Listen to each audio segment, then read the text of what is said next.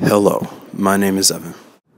I'm a satellite intern at Milwaukee Art Museum, and I will be your guide into the emotional depths of Jules Bastien-Lepage's The Wood Gatherer.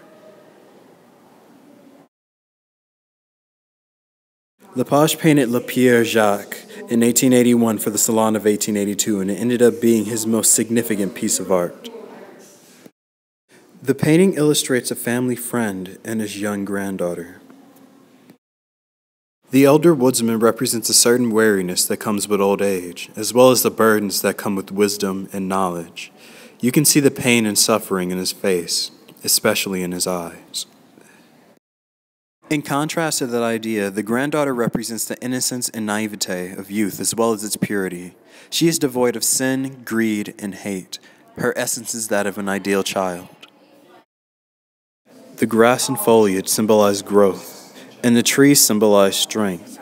The flowers embody the unadulterated and the unpolluted, and the season, autumn, represents the pinnacle of maturity and is also associated with the changing of age and experience.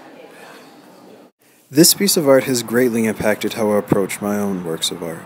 I feel that now I would want people to draw these kinds of thoughts and feelings from my art as well.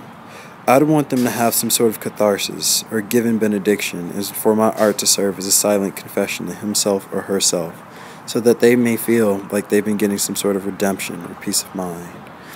I want to be able to connect to my viewers personally through my art and potentially alter and change their lives for the better.